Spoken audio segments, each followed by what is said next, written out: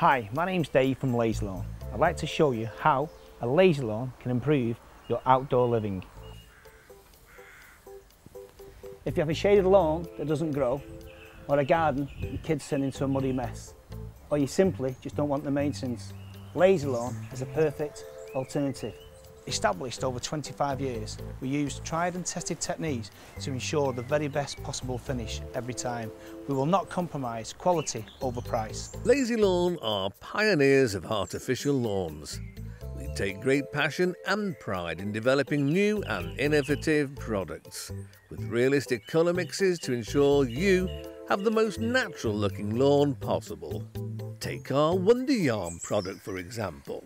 Its special W-shaped fibres give the product bounce back ability. Clever, eh? We can pop round to assess the works required. There is no one size fits all solution, as every installation is unique. We can answer any questions you may have and discuss the best options for your space.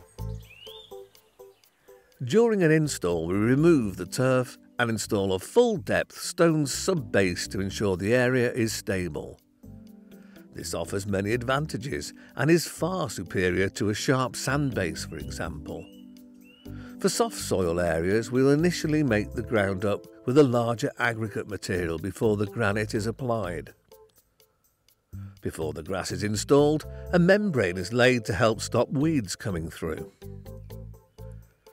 If required, the perimeters of the lawn are fitted with a modern edging system, which gives a subtle but clean finish to the space. The grass is laid and joined as required depending on the dimensions of the area. Once cut in, kiln dry sand is added and power brushed into the pile. This is a special high grade sand and adds durability and stability to the product.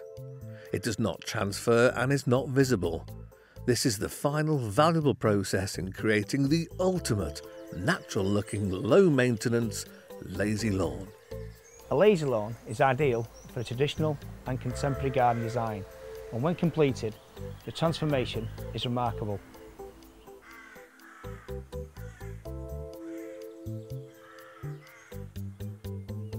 My lazy lawn is a place where I can relax in. What's yours going to be?